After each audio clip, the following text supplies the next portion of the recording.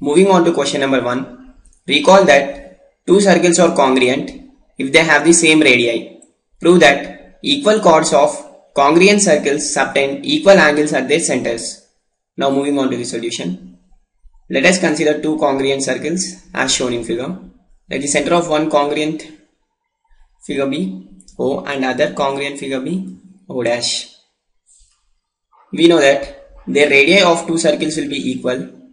Let us consider two chords AB and CD of equal lengths in two circles.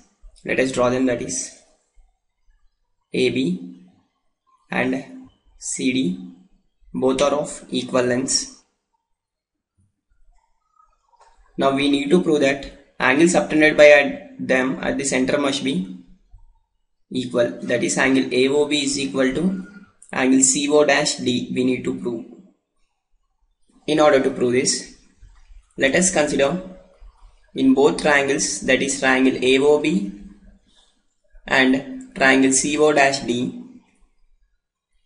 OA is equal to O dash C. Since the figures are congruent their radii will be equal. And OB is equal to O dash D since the figures are congruent their radii will be equal and also initially he has given that chords are of equal lengths therefore AB is equal to CD.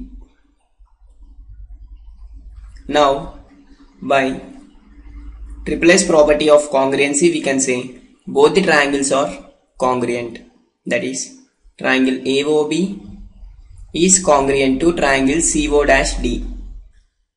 When two triangles are congruent then their corresponding angles are equal.